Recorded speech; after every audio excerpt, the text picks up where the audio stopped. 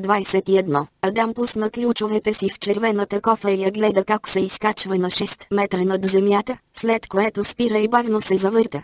Той тръгна към първата врата, която се разтресе, преди да се отвори. Отиде до втората и зачака.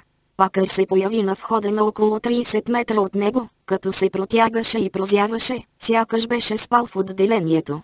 Втората врата се затвори за Дадам. Пакър го чакаше. Добър ден, каза той. Наближаваше 2 часа, най-горещото време на деня. В сутрешната програма на радиото един метеоролог весело бе обявил, че това ще бъде първият ден на годината с температура над 37 градуса. Здравейте, сержант, каза Адам, сякаш бяха стари приятели. Тръгнаха по черния път към малката врата с плевели пред нея. Пакър отключи и Адам влезе вътре. Ще доведа сам, каза Пакър, без да бърза, и изчезна. Столовете от неговата страна на металната преграда бяха разхвърляни. Два от тях бяха обърнати наопаки, като че ли адвокатите и посетителите се бяха карали. Адам премести един стол до гишето, колкото се може по-далеч от вентилатора. Извади копия от петицията, която бе подал в 9 сутринта. Според закона никакъв иск или жалба не можеше да се подаде в Федералния съд, преди да бъде представен или отхвърлен от щатско съдилище. Според щатския закон за помилване след произнасяне на присъдата петицията срещу газовата камера бе подадена във Върховния съд на Мисисипи. Адам, както и Гарнер Гудман смятаха, че това е чиста формалност. Гудман бе работил по иска през целия уикенд. Всъщност той бе работил цял ден в събота, докато Адам бе пил бира и ловил пастърва с Летнер. Сам пристигна както обикновено, с ръце в белезници зад гърба, безизразно лице и червен гъщеризон, разкопчан почти до кръста. Белите косми по гърдите му бяха залепнали от пот. Като добре тренирано животно той обърна гръб на пакър, който бързо му свали белезниците и после излезе от стаята. Сам веднага извади цигарите и запали една, преди да седне. После каза, добре дошъл. Подадох това в 9 часа тази сутрин, каза Адам и пъхна петицията през тесния процеп на преградата. Говорих с чиновничката от Върховния съд в Джаксън. Тя, изглежда, смята, че съдът ще вземе решение веднага. Сам взе документите и погледна към Адам. Можеш дори да се обзаложиш за това. Ще я отхвърлят с голямо удоволствие. Штатът ще трябва да отговори незабавно. В момента главният прокурор сигурно се труди по този въпрос. Чудесно! Можем да гледаме последните новини. Вероятно е поканил телевизията в кабинета си, докато подготвят отговора. Адам свали сакото и разхлаби вратовръзката си. В стаята бе влажно и той вече се бе изпотил. Името Уинлетнер говори ли ти нещо? Сам хвърли петицията върху един празен стол и силно дръпна от цигарата. Издуха плътна струя дим към тавана. Да, защо питаш? Срещали ли сте се някога? Сам помисли за Мики както обикновено отговори, като си мереше думите. Може би, не съм сигурен. На времето знаех какъв е. Защо? Срещнах се с него през уикенда. Сега е пенсионер и стопанисва риболовна база на река Лайт. Дълго си говорихме. Чудесно. И какъв по-точно беше резултатът? Казва, че все още смята, че си действал заедно с някой друг. Спомена ли някакви имена? Не, не са подозирали никого или поне така ми каза. Но са имали информатор, един от хората на Долган, който е казал на Летнер, че другият бил нов, а не някой от обичайния екип. Тогава смята ли, че от друг щат е съвсем млад. Това е всичко, което знае Летнер. Ти вярваш ли на тия приказки? Не знам на какво да вярвам. Какво значение има това сега? Не знам. Би могло да ми даде нещо, което да използвам, за да спася живота ти. Нищо повече. Мисля, че съм отчаян. Аз не съм ли? Хващам се за сламки, сам. Ловя се за сламки и се опитвам да попълня някои празнини. Значи в моя разказ има празнини. Така мисля. Летнер каза, че винаги се е съмнявал, тъй като не са намерили никакви следи от експлозиви, докато претърсвали у вас. А и за теб няма регистрирани данни, че си използвал експлозиви. Той каза, че май не си от онези, които започват своя собствена бомбена кампания. И ти вярваш на всичко, което казва Летнер? Да, защото има смисъл. Нека да те попитам следното. Какво ще стане ако ти кажа, че е имало и някой друг? Ако ти дам името му, адреса, телефонния номер, кръвната група и проба на урината, какво ще правиш с всичко това? Ще вдигна шум до небето. Ще подам куп възражения и молби за обжалване. Ще раздвижа пресата и ще те изкарам жертва. Ще се опитам да направя сензация от твоята невинност и ще се надявам някой да обърне внимание. Някой съдия от апелативния съд, например. Сам бавно кимна, сякаш това бе твърде нелепо, макар и не неочаквано. Няма да има ефект, Адам, каза той внимателно, сякаш обясняваше на дете. Остават ми три седмици и половина. Ти познаваш закона. Не е възможно да започнеш да крещиш, че е виновно лицето Хикс, след като неговото име никога не е било споменато. Знам, но ще го направя, така или иначе. Безполезно е. Престани да се опитваш да намериш лицето Хикс. Кой е той? Не съществува. Напротив, съществува. Защо си толкова сигурен? Защото искам да повярвам, че си невинен, сам. Това е много важно за мен. Казах ти, че съм невинен. Аз поставих бомбата, но нямах намерение да убивам никого. Но защо си поставил бомбата? Защо си взривил дома на Пиндър, синагогата и кантората за недвижими имоти? Защо си унищожил невинни хора? Сам продължаваше да пуши и да гледа към пода. Защо мразиш, сам? Като че ли омразата е нещо естествено за теб. Защо са те учили да мразиш чернокожите, евреите, католиците и всеки, който е малко по-различен от теб? Задавал ли си си някога този въпрос? Не. И нямам никакво намерение. Значи ти си си такъв. Такъв ти е характерът, същността ти, както ръста и силните ти очи. Нещо, с което си се родил и не можеш да промениш. Предадено ти е чрез гените от баща ти и дядо ти, всичките заклети клановци, и е нещо, което ще отнесеш в гроба, нали? Това беше начин на живот. Единственото, което знаех. Ами тогава какво се случи с баща ми? Защо не можа да заразиш и Еди? Сам стъпка цигарата на пода и се облегна на лакти. Бръчките въгълчетата на очите и по челото му се присвиха. Лицето на Адам се намираше точно в процепа, но той не го гледаше. Беше се вторачил в долната част на преградната стена. Значи това било. Време е да говорим за Еди, прошепна той още по-тихо и по-бавно. Къде сгреши с него? Това, разбира се, няма нищо общо с малкото увеселение с отровен газ, което ще ми устроят. Нали? Няма нищо общо с молби, предложения, адвокати и съди, петиции и спиране на изпълнението на присъдата. Това е губене на време. Не бъде страхливец. Сам. Кажи ми къде сбърка седи, научи ли го на думата чернилка? Научи ли го да мрази малките чернокожи? Опита ли се да го научиш да гори кръстове или да прави бомби? Заведе ли го да види линч? Какво направи с него? Сам? В какво сгреши? Еди не знаеше, че съм в клана, докато не постъпи в гимназията. Защо? Ти, естествено, не си се срамувал от това. Била източник на семейна гордост, нали? Не сме го обсъждали никога. Защо не? Ти си бил четвърто поколение Кейхол, член на клана с корени още от гражданската война или някъде тогава. Нали ми разказа точно това? Да. Тогава защо не седна заедно с малкия Еди, за да му покажеш снимки от семейния албум, защо вечер не си му разправил приказки за героите от фамилия Кейхол, как са кръстосвали нощем с маски на смелите си лица и са подпалвали негърски колиби, за бойни подвизи, като баща на син. Повтарям ти, че не говорехме за това. Ами когато порасна, ти не се ли опита да го привлечеш? Не, той беше различен. Искаш да кажеш, че в него нямаше омраза?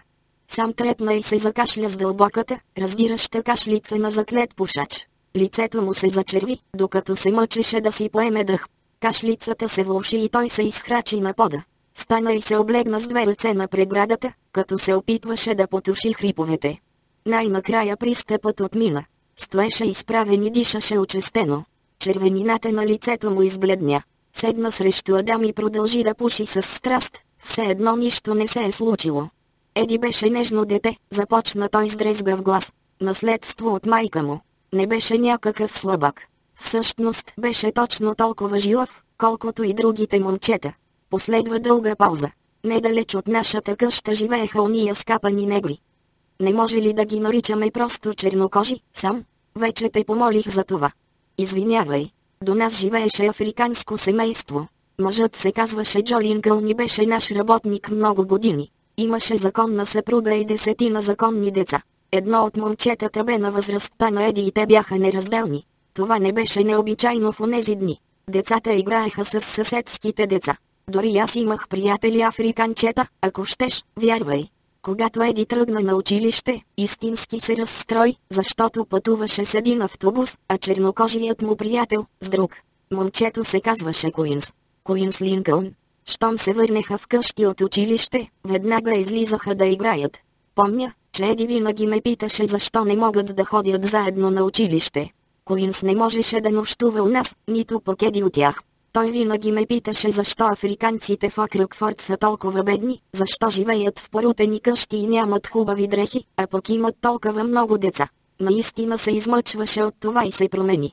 Когато порасна, започна да се чувства още повече на черните. Опитах се да говоря с него. Дума да няма. Опитал си се да го вкараш в правия път, нали? Помъчих се да му обясня нещата.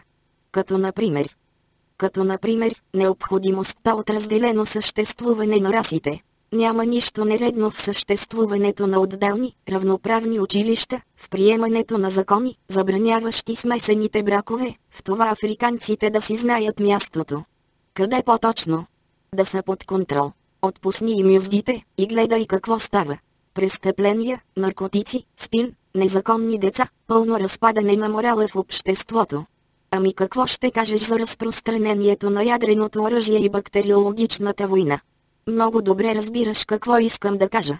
А основните човешки права, радикалните принципи като правото на глас, правото да се ползват обществени туалетни, да се посещават ресторанти и хотели, да не бъдеш дискриминиран по отношение на жилище, работа и образование. Говориш като Еди. Чудесно. В последните класове на гимназия той ораторстваше по този начин за това колко зле се отнасяме с африканците. Напусна ни, когато стана на 17. Липсваше ли ти? От началото, майчине. Много се карахме. Той знаеше, че съм в клана и не можеше да ме понася. Поне така казваше. Значи те е било повече грижа за клана, отколкото за сина ти. Сам впери поглед в пода. Адам драскаше нещо в бележника си. Климатичната инсталация бръмчеше, после отихваше, сякаш щеше да спре. Беше симпатично дете, каза тихо сам. Често ходехме на риба, това ни беше любимото занимание. Имах стара лодка и прекарвахме часове на езерото, ловяхме платика и понякога костур. После той порасна и престана да ме харесва. Срамуваше се от мен естествено, това ме обиждаше. Очакваше да се променя, а аз смятах, че ще разбере истината, както другите момчета на неговата възраст. Но това не стана.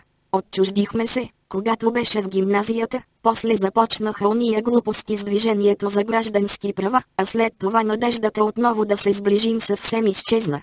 Той участваше ли в движението?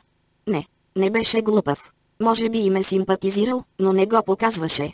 Тукашните не излизаха навън да говорят публично уния глупости. Имаше достатъчно евреи от севери радикали, които го правеха. Те нямаха нужда от помощ. Какво направи той, след като ви напусна? Отиде войник. Това беше най-лесният начин да се напусне града и Мисисипи. Нямаше го три години, а когато се върна, доведе със себе си жена. Живееха в Клантън и почти не ги виждахме. От време на време говореше с майка си, но не и с мен. Беше в началото на 60-те и движението на африканците се разрастваше. Провеждаха се много сборище на клана, имаше и активна дейност, най-вече на юг от нас. Еди се държеше все така отчуждено. Мълчеше, почти никога не говореше. После съм се родил аз. Ти се роди тъкмо когато изчезнаха уния трима активисти за граждански права. Еди има смелостта да ме попита дали не съм бил замесен. А ти беше ли? Ей богу, не. Почти година не знаех кой го е направил. Били са клановци, нали? Да, бяха. Доволен ли беше, че са убили ония момчета? Каква връзка има това, по дяволите, с мен и газовата камера през 90-та година? Еди знаеше ли, че си замесен в бомбения атентат? Никой в Окръгфорд не знаеше. Не бяхме много активни тук. Вече ти казах, че повечето акции бяха на юг от нас, около Меридиан. И ти умираше да участваш в тях, нали? Имаха нужда от помощ. Ония от ФБР бяха вкарали толкова много свои хора в клана, че почти на никого не можеше да се вярва. Движението за граждански права набираше скорост. Трябваше да се направи нещо. Не се срамувам от това. Адам се усмихна и поклати глава. Но Еди се е срамувал, нали? Еди не знаеше нищо преди взрива у Крамер. Защо си го замесил? Не съм. Напротив. Казал си на жена си да отидат седи до Кливланд и да вземат колата ти. Направил си го съучастник. Бях в затвора. Бях оплашен. И никой не разбра. На никого не навреди. Сигурно Еди е мислил другояче. Не знам какво е мислил Еди, разбра ли? Когато излязох от затвора, той беше вече изчезнал. Вие бяхте заминали. Не го видях до погребението на майка му, а после се промъкваше тайно и напускаше града, без да говори с никого. Той разтри бръчките на челото си с лявата ръка, после я прокара през мазната си коса. Лицето му бе тъжно и когато погледна през процепа, Адам съзря влага в очите му. За последен път видях Еди, когато се качваше в колата си пред църквата след погребението. Бързаше. Нещо ми подсказа, че никога повече няма да го видя. Беше дошъл, защото майка му бе умряла, и знаех, че това е последното му идване у дома. Нямаше друга причина, която би могла да го накара да се върне отново. Заедно с Ли стояхме на стъпалата на църквата и го гледахме, докато се отдалечаваше. Щях да погреба жена си и в същото време гледах как синът ми си отива завинаги. Опита ли се да го откриеш? Не, не, наистина. Ли каза, че имала телефонния му номер, но не ми се щеше да му се моля. Очевидно той не искаше да има нищо общо с мен, затова го оставих на мира. Често си мислех за теб и помня, че казвах на баба ти колко хубаво би било да те видя. Но не смятах да правя сериозни опити да ви открия. Трудно щеше да ни намериш. Точно това чух аз. Ли разговаряше от време на време седи и после ми съобщаваше. Изглежда, сте се местели из цяла Калифорния. Смених 8 училища за 12 години. Но защо? С какво се занимаваше той? С много неща. Щом загубеше работа си и се премествахме, защото не можехме да си плащаме найма. После майка ми си намираше някаква работа и отново се местехме. После татко изведнъж се ядосваше за нещо на училището, в което учех, и ме преместваше. Какво работеше? Веднъж постъпи в почтите, но го уволниха. Заплашваше да ги даде под съд и доста дълго време води война с тях. Не можа да намери адвокат, който да поеме делото, затова ги нападаше писменно. Никога не се разделяше с бюрото си, с малката пишеща машина и котиите с документацията. Това бе най-ценното нещо, което притежаваше. Всеки път, когато се местехме, той полагаше най-много грижи за своя кабинет, както го наричаше. Не го интересуваше нищо друго, а той нямаше много, но за кабинета си даваше живота. Помня колко често нощем лежах в леглото си и се мъчех да заспя, слушайки тракането на проклетата машина. Той мразеше федералното правителство. На мен се е метнал. Но май е било поради различни причини. Една година данъчните власти го подгониха, което ми се струваше странно, тъй като той печелеше толкова, че данъците му не надвишаваха 3 долара. Затова обяви война и напъклените данъчни власти, която продължи с години. Една година щатът Калифорния му отне шофьорската книжка, защото не я бе подновил, а това според него бе нарушение на всякакъв вид граждански и човешки права. Майка ми кара колата две години, докато накрая той отстъпи пред бюрокрацията. Не преставаше да пише писма до губернатора, президента, сенатори, конгресмени, до всички, които имаха канцеларии и служители. Вдигаше ужасна врява за какво ли не, а когато му изпращаха отговор, за него това бе малка победа. Пазеше всички писма. Веднъж се скара с един съсед за някакво непознато куче, което пикаело пред вратата ни. Започнаха да си крещят през оградата. Колкото повече се разгорещяваха, толкова по-влиятелни ставаха приятелите им и двамата се готвеха да позванят на всякакви знаменитости, които незабавно ще ли да постановят някакво наказание за другия. Татко изтича вкъщи и след секунди се върна с 13 писма от губернатора на щата Калифорния. Той ги преброи на глас, размаха ги под носа на съседа и нещастникът бе съкрушен. Това сложи край на спора и на кучешката пикня пред нашата врата. Разбира се, във всяко от тези писма учтиво го молеха да върви по дяволите. Без да го съзнават, към края на разказа и двамата се усмихваха. Ако не е могъл да се задържи на работа, как сте се справяли? Попита сам, взирайки се през процепа. Не знам. Мама винаги е работела.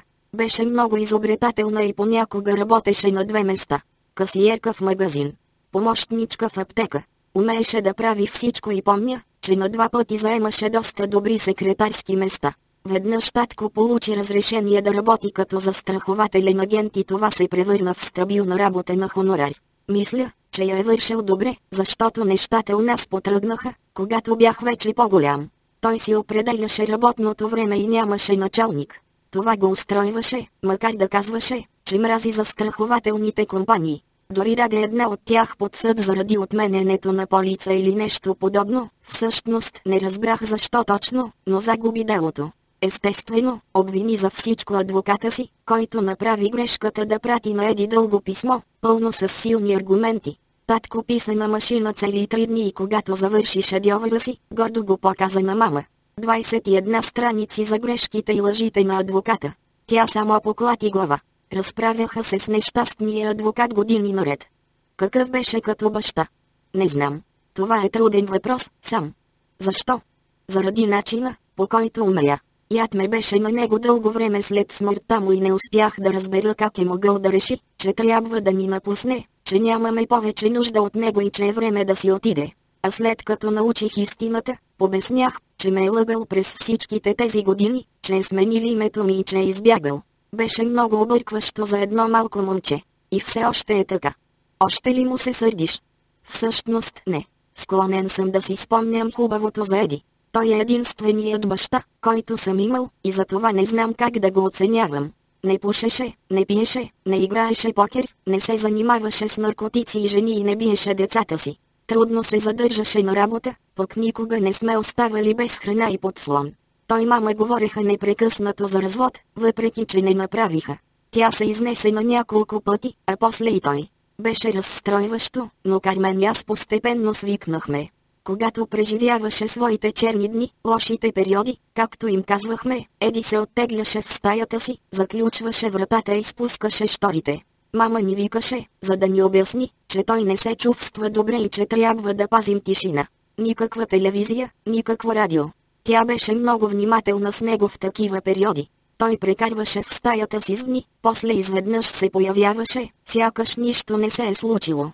Свикнахме да преживяваме лошите периоди на Еди. Иначе изглеждаше нормално и се обличаше прилично. Винаги беше насреща, когато имахме нужда от него. Играехме бейсбол в задния двор и се возехме на въртележките на Луна парка.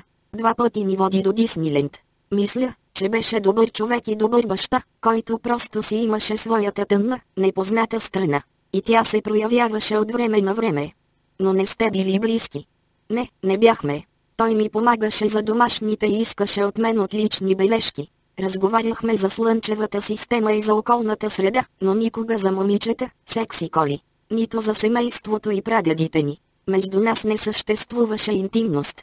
Еди не беше сърдечен човек. В някои моменти имах нужда от него, но той си седеше заключен в стаята. Сам разкри ъгълчетата на очите си и отново се облегна на лакти, с лице до преградата. Впери поглед в Адам. Ами смъртта му. Попита той. Какво по-точно? Как се случи? Адам мълча дълго, преди да отговори. Можеше да разкаже тази история по няколко начина. Можеше да бъде жесток, отвратителен и безпощадно искрен и да съсипе стареца. Силно се изкушаваше да постъпи така. Трябваше да го направи, беше си казвал много пъти преди, сам трябваше да страда, трябваше да получи плесница, да понесе вината за самоубийството на Еди. Адам наистина искаше да нарани стария негодник и да го разплаче. Но в същото време му се искаше да разкаже всичко бързо, да заглади болезнените места и да премине към нещо друго. Нещастният старец седеше от другата страна на преградата и без това страдаше достатъчно. Правителството възнамеряваше да го убие след по-малко от 4 седмици. Адам подозираше, че той знае повече за смъртта на Еди, отколкото показваше. Той преживяваше тежък период, каза Адам, като гледаше към преградата, но избягваше да среща очите насам. Стоя в стаята си две седмици, което бе по-дълго от обикновено. Мама ни повтаряше, че той се подобрява и само след няколко дни ще излезе. Повярвахме й, защото Еди винаги излизаше от това състояние. Той избра деня, в който тя беше на работа, а Кармен отиде на гости при приятелка. Деня, в който знаеше, че аз първи ще се прибера вкъщи. Намерих го да лежи на пода в моята стая, с 38 мм пистолет в ръка. Един изстрел в дясното слепоочие. Кръвта бе образувала правилен кръг около главата му. Седнах на ръба на леглото. На колко години беше? Почти на 17. Първа година в колежа. Отличник. Видях, че е сложил 6 кърпи на пода и после е легнал отгоре. Проверих пулса му, но той вече бе започнал да се вкоченява. Съдебният лекар каза, че се е застрелил 3 часа по-рано. До него лежеше бележка, напечатана прегледно на бял лист. Беше адресирана до скъпия Адам.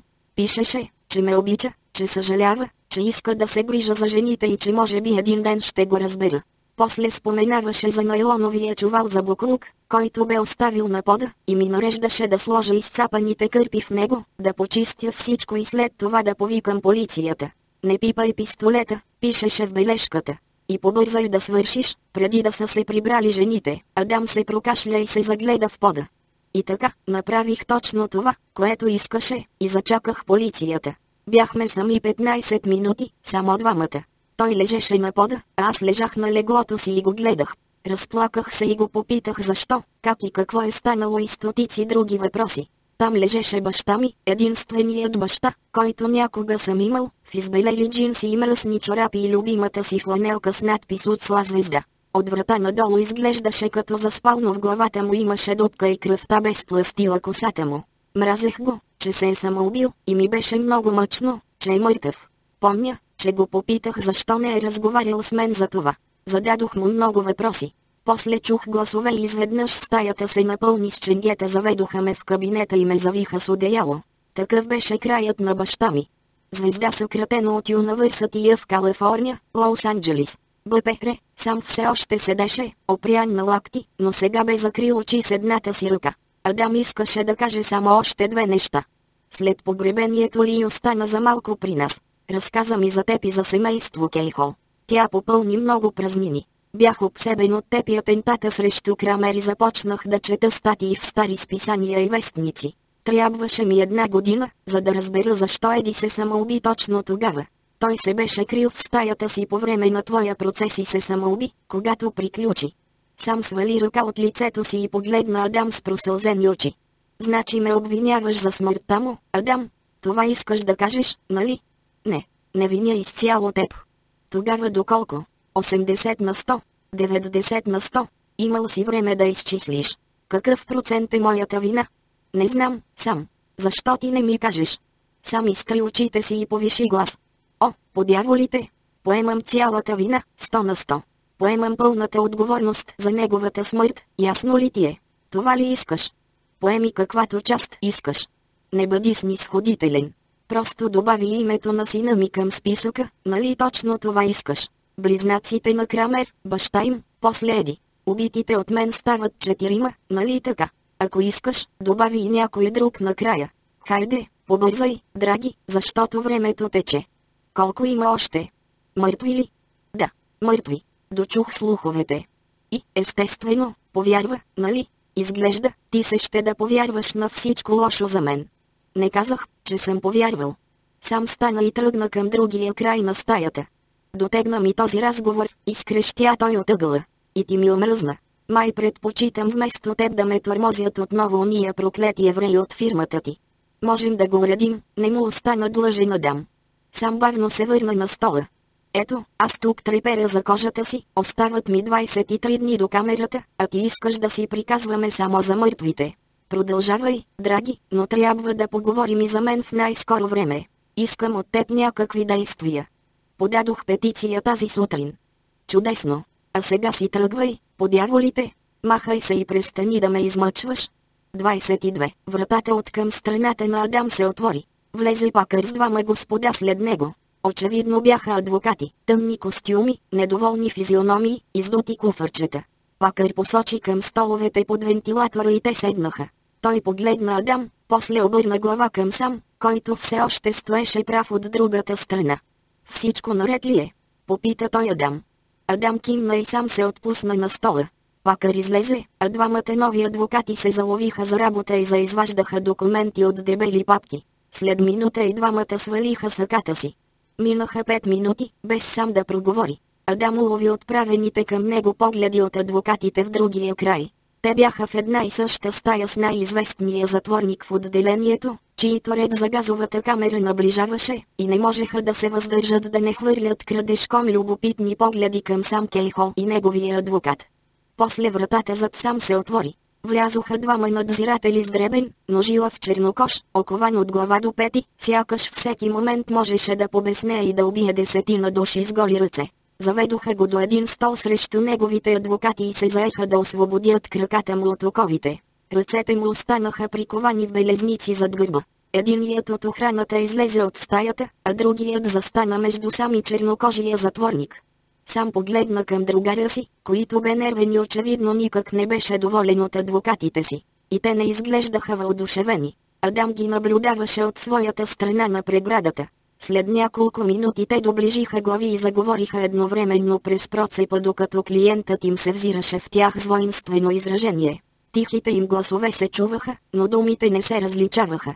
Сам отново се облегна напред на лакти и направи знак към Адам да стори същото. Лицата им бяха на 25 см едно от друго, от двете страни на процепа. Този е Стокхолм Търнер, каза сам, почти шепнейки. Стокхолм ли? Да, но му викат Сток. Тези африкански селяни си падат по необичайните имена. Казва, че има брат, който се казва Копенхаген, а друг – Мексико. Вярвам му. Какво е направил? Изведнъж прояви любопитство Адам. Мисля, че е обрал магазин за напитки. Застрелил собственика. Преди около две години получи смъртна присъда, но я спряха в последния момент, два часа преди да го откарат в газовата камера. Какво е станало? Адвокатите му успяха да издействат отлагане и не са престанали да се борят от тогава. Човек не знае, но вероятно ще бъде следващият след мен. И двамата погледнаха към другия край на стаята, където съвещанието бе в пълна сила. Сток седеше на ръба на стола и явно създаваше проблеми на адвокатите си. Сам се ухили, после се изкиска и се приближи още повече до преградата. Семейството на Сток е страшно бедно и почти нищо не правят за него. Не е за чудене, наистина, особено при африканците. Той рядко получава писма и почти никой не го посещава. Роден е на 50 мили от тук, но свободният свят го е забравил. Щом молбите му за обжалване престанаха да дават резултати, Сток се разтревожи за живота и смъртта и за нещата изобщо. Ако никой не предяви права за тялото ти, държавата те погребва като просяк в някой ефтин гроб. Сток се тревожеше какво ще стане с тялото му и започна да задава всякакви въпроси. Пакари някои от охраната разбраха това и убедиха Сток, че тялото му ще бъде изпратено в крематориум и изгорено. Прахът ще бъде разпръснат над парчман. Казаха му, че тъй като и без това ще бъде наситен с газ, когато му драснат клечката, ще хвъркне като бомба. Сток беше съкрушен. Не можеше да спи и отслабна. После започна да пише писма до семейството и приятелите си, като ги молеше за няколко долара, да може да си устрои християнско погребение, както той го наричаше. Парите започнаха да пристигат и той продължи да пише писма. Пишеше на министри и групи от Движението за граждански права. Дори адвокатите му изпратиха пари. Когато отмениха отлагането на присъдата, Сток вече бе събрал почти 400 долара и беше готов да умре. Или поне така си мислеше. Очите насам шареха наоколо. Разказваше историята бавно и тихо и се наслаждаваше на подробностите. Адам се забавляваше повече от начина на разказване, отколкото от съдържанието. Едно негласно правило тук разрешава почти неограничени посещения 72 часа преди екзекуцията. Доколкото сигурността не е застрашена, осъденият може да прави почти всичко. В предната част има малка канцелария с бюро и телефон, която използват за посещения. Обикновено идват всякакви хора, баби, племенници, племеннички, братовчеди, лели, особено ако осъденият е чернокош. Ей богу, идват на цели тумби. Роднини, които преди не са се сещали за затворника, изведнъж се изтърсват тук да прекарат с него последните му мигове. Превръща се почти в светско събитие. Съществува и друго неписано правило, което позволява последна съпружеска среща. Ако осъденият няма съпруга, тогава директорът в безграничната си милост разрешава кратка среща с приятелка. Последна кратка любовна среща, преди любовникът да си иде от тоя свят. Сам погледна към Сток и се наведе още по-напред. Старият Сток е един от най-известните обитатели на отделението и някак успял да убеди директора, че има и жена, и приятелка и че и двете ще се съгласят да прекарат с него няколко мига, преди да умре. Директорът се усъмнил, но всички тук обичат сток, а и без това ще ли да го убият, та нямало нищо лошо. И така, ей той е същият сток седял в малката стая с майка си, сестрите, братовчедите и племенниците си, цялата ефа чернокожи, повечето от които сигурно не са го споменавали с години дял последната си пържола с картофи, докато всички останали ревели, оплаквали го и се молели за него. Оставали още 4 часа, когато ги накарали да опразнят стаята и ги пратили на църква. Сток почакал няколко минути, докато друг микробус докарал жена му и приятелката му в отделението. Пристигнали с охрана, веднага ги завели горе, в канцеларията, където Сток тръпнел в очакване. Нещастникът бил в отделението от 12 години. Те значи донесли в стаята малко легло и Сток и момичетата му пристъпили към действие. По-късно надзирателите разправяха, че жените на Сток били доста хубавички и изглеждали много млади. Сток точно се готвил да започне или с жена си или с приятелката си, което всъщност било без значение, когато телефонът иззвънял. Бил адвокатът му, който задъхано изкрещял в слушалката голямата новина, че пети областен съд спира изпълнението на присъдата. Сток му затворил телефона. В този момент имал по-важна работа. Минали няколко минути, после телефонът отново иззвънял. Сток го сграбчил. Отново бил адвокатът, който този път много по-спокойно обяснил на Сток юридическите маневри, които спасили живота му за момента. Сток му благодарил и го помолил да не го разгласява още един час. Адам отново погледна надясно, чудейки се кой от двамата адвокати е звънял на Сток, докато той е упражнявал конституционното си право на последна съпружеска среща. До тогава обаче от канцеларията на главния прокурор вече били уведомили директора и екзекуцията била отменена. Неуспешна, както те обичат да казват. За сток това било без значение. Той продължавал, сякаш нямало повече никога да види жена. Вратата на стаята не се заключва отвътре по обясними причини, така че Найфе, след като почакал търпеливо, леко почукал на вратата и помолил Сток да излезе. Време е да се връщаш в килията си, Сток, казал той. Сток отвърнал, че му трябват само още пет минути. Не, казал Найфе.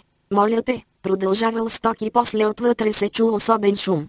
Директорът се ухилил на надзирателите, които се ухилили в отговори в продължение на 5 минути гледали към пода, докато креватът скърцал и се тресял в малката стая. Най-накрая Сток отворил вратата, наперен като световен шампион по вдигане на тежести. Ония от охраната казаха, че бил по-доволен от това преживяване отколкото от отлагането на присъдата. Бързо отпратили жените.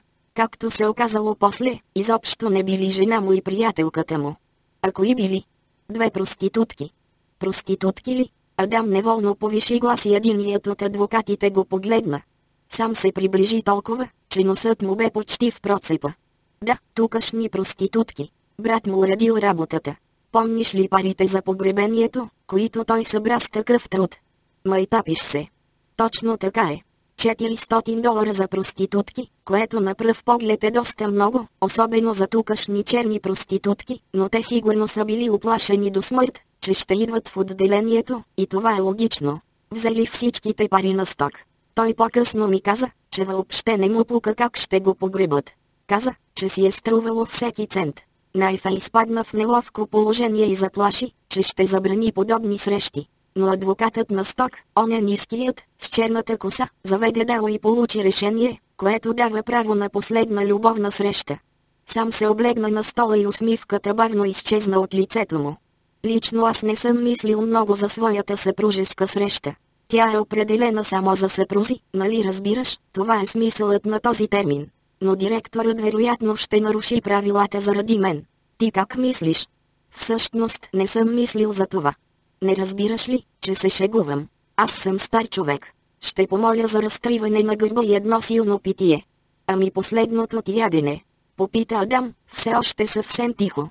Не е смешно. Мислех, че се шегуваме. Ами вероятно ще бъде нещо отвратително като варено свинско с грах. Някаква гадост, с която ме хранят вече 10 години. Може би допълнителна филийка припечен хляб. Не ми се ще да давам възможност на готвача да приготви ядене, подходящо за човек от свободния свят. Звучи страхотно. О, ще го поделя с теб. Често се питам защо те хранят, преди да те убият. Водят и лекар, който те преглежда преди екзекуцията. Представяш ли си? Искат да се уверят, че си здрав, за да умреш. Тук има и психиатър, който също те преглежда преди екзекуцията, след което писменно докладва на директора, че си психически здрав, за да умреш в газовата камера. Има и щатен свещеник, който се моли и размишлява заедно с теб, за да се увери, че душата ти се е отправила във вярната посока. Всичко това се заплаща от денакоплатците в щата Мисисипи и се осъществява от тези обичливи хора тук. Не забравяй и за съпружеската среща. Можеш да умреш задоволен. За всичко са помислили. Много са съобразителни. Наистина са загрижени за апетита, здравето и душевното ти състояние. Точно преди екзекуцията ти поставят катетър в пениса и ти запушват ануса, за да не оплескаш около себе си. Това е за тяхно, а не за твое удобство. За да не се налага да чистят после. Значи нахранват те добре, каквото си поискаш, а после те запушват. Не е ли отвратително? Гадно е, гадно, гадно. Хайде да говорим за нещо друго. Сам допуши последната цигара и я стъпка на пода пред охраната. Не, да свършваме. Дойде ми много за един ден. Добре. И повече няма да говорим за Еди, чуваш ли? Наистина не е честно да идваш тук и да ме мъчиш с такива неща. Съжалявам. Няма да говоря повече за Еди. Хайде да опитаме да се съсредоточим върху моите проблеми през следващите три седмици, става ли? Имаме много работа. Дадено, сам. От изток започваше Гринвил с верига търговски центрове с видеоклубове, най-вече за филми под найем, малки магазинчета за алкохол, безброй заведения за ламинути и мотели с безплатна кабелна телевизия и закуска. Реката блокираше достъпа от към запад, така че шосе 82, като главен коридор на града, бе очевидно любима територия за предприемачите. От заспало крайречно градче с 15 000 жители преди 25 години Гринвил се бе превърнал в оживен 50 хиляден град. Той процъфтяваше. През 90-та година бе петият най-голям град в щата. Улиците към централната част бяха сенчести, с величествени едновремешни къщи. Центърът на града бе хубав, старинен, добре запазен и очевидно непроменен, помисли си Адам, за разлика от безумния хаос по край шосе 32 паркира на Уошингтън стрит в пет и нещо, когато търговците и клиентите им приключваха деня. Свали връзката си и я остави заедно с сакото в колата, тъй като температурата все още бе над 30 градуса и нямаше изгледи да спадне. Той отмина три къщи и намери парка с бронзовата скулптура с две малки момчета в центъра. Бяха еднакви, с еднакви усмивки и еднакви очи. И в естествена големина. Едното тичаше, а другото скачаше и скулпторът майсторски бе хванал този миг. Джош и Джон Крамер, останали завинаги на 5 години, застинали във времето, направени от Мети Калай. На месингова плочка под тях бе изписано само М. Фрейм, Джош и Джон Крамер, загинали тук на 21.4.1967 година. 2-3-1962, 21-4-1967. Паркът заемаше мястото, където някога се намираше адвокатската кантора на Марвин и сградата до него. Земята от години бе собственост на семейство Крамер и бащата на Марвин е бе дал на града, за да се превърне в мемориал. Сам бе свършил добра работа, изравнявайки кантората с земята, а после градската управа бе съборила съседната сграда. За парка Крамер отидоха доста пари и много тъжни мисли. Бе ограден с декоративна ограда от ковано желязо, а от всяка страна имаше вход към алеите. Равни редици от дъбове и кленове растяха по край оградата. Добре подрязани храсти се пресичаха под прав ъгъл и обточваха цветни лехи с зали и лалета. Под дърветата се гушеше малък амфитеатър, а от среща група чернокожи деца се люлееха на дървени люки. Живописна и приятна градина сред шумните улици и сгради. Момче и момиче спореха, седнали на една пейка. Хлапете на колела обикаляха около една чешма. Възрастен полицай мина по края Адам и докосна шапката си за поздрав.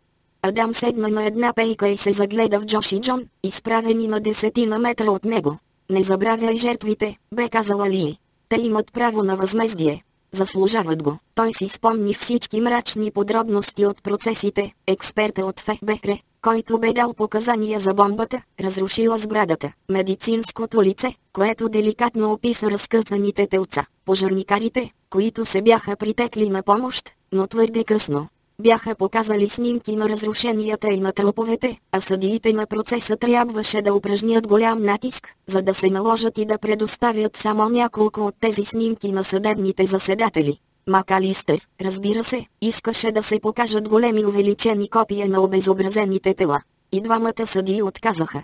Сега Адам седеше върху земята, където някога се бе намирала кантората на Марвин Крамер. Затвори очи и се опита да си представи експлозията.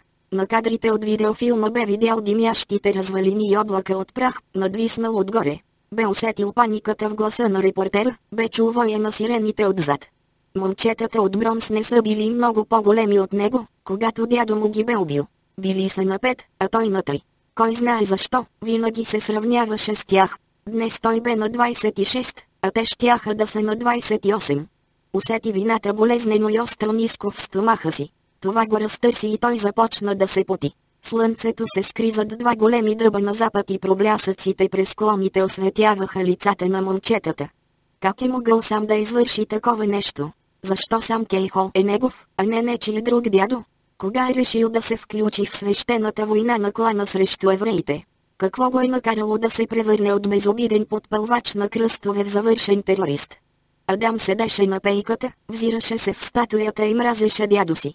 Почувства се виновен, че е тук, в Мисисипи, и се опитва да помогне на стария негодник. Намери хотел и си взе стая. Позвани на Ли, за да й каже къде се намира, после гледа вечерните новини. Очевидно още един ленив летен ден в Мисисипи с малко събития. Сам Кейхол и последните му усилия да остане жив бяха горещата тема. Всеки канал предаваше мрачните коментари на губернатора и главния прокурор за последната петиция за отсрочка, подадена от защитата тази сутрин. И на двамата им дошло до гуша от безкрайните молби за обжалване. Всеки от тях щял да се бори смело, докато не се въздаде справедливост. Една от програмите започна собствено броене на оставащите до екзекуцията дни. 23, преброи водещият, сякаш изреждаше дните, които остават за пазаруване преди коледа. Виждаше се цифрата 23, залепена под същата стара снимка на сам Кейхол. Адам вечеря в едно малко кафене в търговската част на града. Седеше сам в сепарето, будеше в чинията с печено говеждо и грах и слушаше безобидните разговори наоколо. Никой не споменаваше сам. Поздрач той се разходи, мислейки за дядо си, който бе вървял по същите улици, по същия бетон в очакване на взрива и се бе чудил защо не избухва. Адам спря пред телефонна кабина, може би същата, от която сам се бе опитвал да позвани на Крамер, за да го предупреди. Паркът бе пуст и тъмен. Единствената светлина идваше от две улични лампи до входа. Адам седна в основата на статуята, под момчетата, под месинговата плочка с имената им. На нея пишеше, че точно тук, на това място, са намерили смъртта си.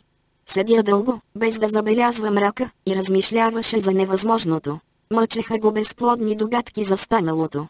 Бомбата бе променила живота му. Това той знаеше със сигурност. Беше го прогонила от Мисисипи и го бе поставила в друг свят с друго име. Бе превърнала родителите му в беженци, които бягаха от миналото и се криеха от настоящето. Беше убила баща му по всяка вероятност, въпреки че никой не би могъл да предвиди какво би могло да стане с Еди Кейхол. Бомбата бе изиграла основна роля за решението на Адам да стане адвокат, призвание, което никога не бе чувствал, преди да научи за сам. Преди това мечтаеше да стане летец. А сега бомбата го бе върнала в Мисисипи за едно начинание, изпълнено с агония и незначителна надежда. Доста големи бяха шансовете бомбата да поиска последната си жертва след 23 дни и Адам се питаше какво ли ще му се случи след това. Колко ли още имаше да пати заради бомбата? 23. Разглеждането на повечето обжалвания на смъртни присъди се протака с години. Придвижва се с скоростта на Охлюв, и то много стар Охлюв. Никой не бърза. Въпросите са сложни. Резюметата, молбите и петициите са заплетени и трудни. Съдилищата са претрупани с по-спешни дела. Понякога обаче решението пристига с поразителна бързина. Съдопроизводството може да бъде и ужасно експедитивно. Особено накрая, когато датата на екзекуцията е определена и съдилищата са отекчени от молби и обжалвания. Адам получи първата доза експедитивно съдопроизводство, докато се скиташе из улиците на Гринвил в понеделник след обед. Върховният съд на Мисисипи разгледа бегло петицията му за помилване след произнасяне на присъдата и я отхвърли около 5 след обед в понеделник. Адам току-що бе пристигнал в Гринвил и не знаеше още нищо. Решението за отказ не бе никаква изненада за разлика от скоростта, с което бе взето. Петицията бе подадена преди по-малко от 8 часа. Всъщност съдът се занимаваше с делото сам Кейхол повече от 10 години. През последните дни преди изпълнението на присъдата съдилищата се следят зорко едни други. По факса се препращат молби и решения, за да бъдат върховните съдилища в течение на събитията. Отказът на Върховния съд в Мисисипи бе надлежно изпратен по факса до Федералния окръжен съд в Джаксън, следващата инстанция за Адам. Бе адресиран до почитаемия Ф. Флин Слатъри, млад федерален съдия, който не бе участвал в разглеждането на молбите на Кейхол. От кабинета на съдия Слатъри се опитаха да намерят Адам Хол между 5 и 6 след обед в понеделник, но тогава той седеше в парка на Крамер. Слатъри позвани на главния прокурор Стив Роксбъри в 8.30 се преведе кратко заседание в кабинета на съдията. Съдията се случи амбициозен и работлив, а това бе първото му дело с осъден на смърт. Той и помощникът му изучаваха петицията до полунощ. Ако Адам бе гледал късните новини в понеделник, щеше да научи, че петицията му вече е отхвърлена. По това време обаче той спеше дълбоко. В 6 часа сутринта във вторник, той взе небрежно вестника от Джоксън и прочете, че съдът в Мисисипи е отхвърлил петицията му и че сега въпросът е отнесен до Федералния съд, по-специално до съдия Слатъри, и че и главният прокурор, и губернаторът очакват още една победа. Странно, помисли си той, тъй като още не бе подавал нищо в Федералния съд. Скочи в колата и запраши към Джоксън, на два часа път. В 9 той влезе в Федералния съд на Капитол Стрит в центъра на града и се срещна за малко с Брек Джеферсън, млад човек с каменна физиономия, току-що завършил юридически факултет, който заемаше важната длъжност помощник на Слатъри. Казаха на Адам да се върне в 11 за среща с съдията. Пристигна в кабинета на Слатъри точно в 11, но се оказа, че някаква важна среща продължава от дълго време. В средата на просторния кабинет имаше огромна заседателна маса от махагон, с 8 кожени стола от всяка страна. В единия край бе тронът на Слатъри, а пред него на писалището се виждаха купища хартия, бележници и папки. От дясната му страна се бяха струпали млади бели мъже в тъмно-сини костюми, а зад тях седяха още една редица нетърпеливи войни. Тази страна бе определена за щата, като негова светлост губернаторът мистер Дейвид Макализгър седеше най-близо до Слатъри. Негова светлост, главният прокурор Стив Роксбър бе изолиран в средата на масата в една очевидно губеща битка за територии. Всеки изтъкнат държавен служител бе довел най-доверените си адвокати и съветници. Дискусията на този ескадрон от стратези с съдията очевидно бе започнала много преди идването на Адам. Помощникът Брек отвори вратата и поздрави учтиво Адам, после го помоли да влезе. В стаята мигновено настъпи тишина, когато Адам се приближи бавно до масата. Слатари стана и се представи на Адам. Ръкуваха се бегло и хладно. Седнете, каза той зловещо, посочвайки с лявата ръка към осемте кожени стола от страната на масата, предназначена за защитата.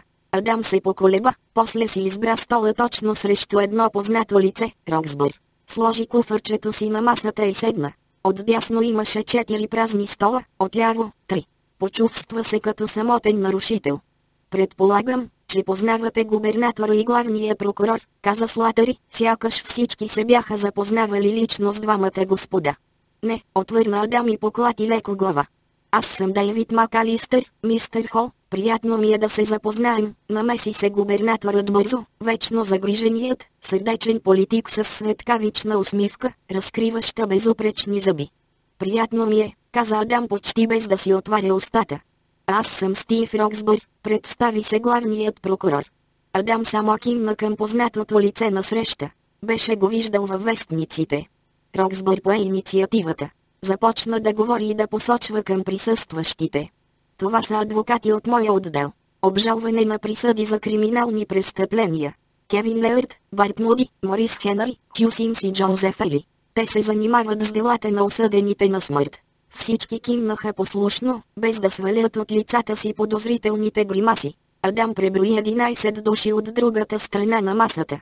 Макалистър предпочете да не представя своя екип от помощници, които явно страдаха или от мигрена, или от хемороиди. Лицата им бяха изкривени от болка или може би от твърде сериозното обсъждане на текущите юридически въпроси. Надявам се, че не сме избързали, мистер Хол, каза Слатъри и надя на чифто чила на носа си. Беше малко над 40, един от младите избраници на Рейган. Кога смятате да подадете официално петицията си тук, в Федералния съд? Днес, обяви нервно Адам, все още изумен от скоростта, с която се развиваха събитията. Въпреки всичко това беше положителен резултат, бе решил той още докато пътуваше към Джаксън. Ако сам получеше някаква отсрочка, това щеше да стане в федералния, а не в щатския съд. Кога може да отговори съдът? Попита Роксбър. Утре сутрин. Ако приемем, че в петицията се повдигат същите въпроси, както в подадената в щатския съд. Същите са, каза Адам на Роксбър, после се обърна към Слатари. Казаха ми да бъда тук в 11. В колко часа започна заседанието? Заседанието започна, когато аз реших това, мистер Хол, отвърна ледено съдията. Какъв е проблемът? Очевидно заседанието е започнало отдавна, и то без мен. Какво лошо има в това? Намираме се в моя кабинет, където аз решавам кога да започнат заседанията. Да, но петицията е моя и бях поканен тук, за да я обсъдим. Струва ми се, че би трябвало да присъствам през цялото време. Не ми ли вярвате, мистер Хол? Слатари се облегна напред на лакти. Очевидно се забавляваше. Не вярвам на никого, отвърна Адам, без да откъсва поглед от негова светлост. Мъчим се да ви помогнем, мистер Хол. Клиентът ви не разполага с много време и аз само се опитвам да придвижа нещата. Мислех, че ще останете доволен, че успяхме да организираме това заседание толкова бързо. Благодаря ви, каза Адам и погледна в бележника си. Настъпи кратко мълчание и напрежението поспадна. Слатари взе лист хартия. Подайте петицията днес. Штатът ще депозира отговора си утре. Ще го прегледам през уикенда и ще издам решение в понеделник. В случай, че реша да се проведе заседание, двете страни трябва да ме уведомят колко време ще отнеме подготовката за това. Какво ще кажете, мистер Хол? Колко време ви е необходимо, за да се подготвите? Насам му оставаха 22 дни живот. Всяко заседание трябваше да бъде експедитивно изтегнато, макар и с свидетели, и той се надяваше на бързо съдебно решение. Напрежението в този момент се усилваше от факта, че Адам нямаше представа колко време ще му отнеме подготовката, защото никога не му се бе случвало да се занимава с подобен въпрос. Бе участвал в няколко дребни схватки в Чикаго, но винаги Емито Айков бе наблизо. Та той бе новак, дявол да го вземе. Дори не знаеше къде се намира съдът. А и нещо му подсказваше, че 11-те лешояди, които го гледаха изпитателно, усетиха мигновено объркването му. Ще бъда готов след седмица, каза той с безизразно лице и колкото се може по-уверено. Много добре, каза Слатари, сякаш това бе чудесно, добър отговор, Адам, браво, момчето ми. Една седмица бе разумен срок. После Роксбър зашепна нещо на един от своите магиосници, което се стори смешно на всички. Адам не им обърна внимание. Съдията надраска нещо с писалката си, после го разгледа. Даде го на помощника си Брек, който изчезна с листчето. Негова светлост огледа стената от юридически пехотинци от дясно и после насочи погледа си към младия Адам. А сега, мистер Хол, искам да обсъдим още нещо. Както казахте, екзекуцията е насрочена за след 22 дни аз бих искал да знам дали този съд може да очаква някакви допълнителни молби от страна на мистер Кейхол. Съзнавам, че искането им е необичайно, но ние тук действаме в необичайна обстановка. Честно казано, това е първото ми участие в дело с смъртна присъда в такава напреднала фаза и смятам, че би било най-добре, ако всички работим заедно. С други думи, ваша светлост, искате да се уверите, че няма да има повече отсрочки. Адам помисли за секунда. Беше необикновено искане и при това доста нелоялно. Но според Конституцията сам имаше право да подава всякакви молби по всякакво време и Адам няма да се обвързва с никакви обещания реши да бъде учтив. Наистина не мога да кажа, ваша светлост. Не сега. Може би следващата седмица. Вие, разбира се, ще подадете обичайните последни молби, каза Роксбър, а самодоволните негодници около него погледнаха Адам с въпросително очудване. Честно казано, мистер Роксбър, не съм длъжен да обсъждам намеренията си с вас. Или с съда. Разбира се, намеси се Макалистър по някаква причина, вероятно просто поради неспособността си да мълчи повече от 5 минути. Адам бе забелязал адвоката, който седеше отдясно на Роксбър. Бе млад, но посивял, гладко избръснат и много спретнат, с стоманен поглед, който не сваляше от Адам. Макалистър явно го фаворизираше и се накланяше към него няколко пъти, сякаш търсеше съвет. Другите помощници на главния прокурор, изглежда, се съобразяваха с неговите мисли и движения. В една от стотиците статии, които Адам бе изрязал и запазил, се споменаваше за един скандален юрист от кабинета на главния прокурор, известен като доктор Смърт, умен особняк, чиято страст била да ускорява изпълнението на смъртните присъди. Името или фамилията му бе Морис и Адам смътно си спомняше, че Морис еди кой си бе споменат от Макалистър по време на обърканото представяне на екипа му. Адам предполагаше, че това е ужасяващият доктор Смърт. Казваше се Морис Хенри. Ами добре, побързайте тогава и ги подайте, каза Слатъри с голяма доза смущение. Не ми се ще да работя денонощно в последния момент. Няма да се наложи, сър, каза Адам с иронично съчувствие. Слатъри го погледна сърдито и после отново се зае с книжата пред себе си. Много добре, господа, препоръчвам ви да стоите близо до телефоните си в неделя вечер и понеделник сутрин. Ще ви позвъня веднага, щом взема решение. Закривам заседанието. Сред конспираторите от отсрещната страна на масата настана суетня. Те заприбираха от масата книжа и папки и замънкаха от къслечни реплики. Адам бе най-близо до вратата. Той кимна на слатари, измърмори едва чуто довиждане, ваша светлост и излезе от кабинета. Усмихна се учтиво на секретарката и вече бе в коридора, когато чу името си. Беше губернаторът, с двама от свитата му. Можем ли да поговорим за минута? Попита Макалистър и протегна десница. Ръкуваха се бегло. За какво? Само пет минути, става ли? Адам погледна телохранителите на губернатора, които чакаха на няколко крачки от тях. Сами, на четири очи. И неофициално. Разбира се, каза Макалистър и посочи към двойна врата. Влязоха в малка съдебна зала с изключено осветление. Ръцете на губернатора бяха свободни. Някой друг носеше вместо него куфърчето и чантите му. Той се облегна на перилата. Беше слаб и добре облечен, с хубав костюм, модерна копринена връзка и задължителната бяла памучна риза. Нямаше 40 и много младеше. Само бакенбардите му бяха посивели. Как е сам? Попита той, преструвайки се на много загрижен. Адам изсумтя нещо, погледна настрани и после постави куфърчето си на пода. О, прекрасно! Ще му кажа, че сте се интересували за него. Ще бъде очарован. Чух, че не бил добре с здравето. Здравето ли? Та вие се опитвате да го убиете. Как може да се безпокоите за здравето му? Просто чух някои слухове. Той ви мрази ужасно, разбирате ли? Зле е с здравето, но може да изкара още три седмици. Омразата не е нещо ново за сам, нали? За какво точно искате да говорим? Просто исках да се запознаем. Сигурен съм, че скоро ще се разбираме добре. Вижте, губернаторе, подписал съм споразумение с моя клиент, в което изрично ми се забраняват разговорите с вас. Повтарям, той ви мрази. Вие сте причината да се намира в отделението за осъдени на смърт. Той ви обвинява за всичко и ако знае, че сега разговаряме, ще ме изхвърли. Собственият ви дядо ли ще ви изхвърли? Да, сигурен съм. Затова, ако прочета в утрешния вестник, че днес сте се срещали с мен и сме обсъждали сам Кейхол, тогава хващам пътя за Чикаго, което вероятно ще обърка екзекуцията ви, тъй като сам няма да има адвокат. Не можете да убиете човек, ако той няма адвокат. Кой казва това? Просто не говорете, ясно ли е? Обещавам ви. Но ако не можем да разговаряме, как тогава можем да обсъдим въпроса за помилването? Не знам. Още не съм стигнал до там. Приятното изражение никога не слизаше от лицето на Макалистър, сякаш дежурната усмивка щеше да се появи всеки момент. Мислили сте за помилване, нали? Да. След като остават само три седмици, мислих и за помилване. Всеки осъден на смърт затворник мечтае за помилване, губернаторе, и за това не можете да го дадете.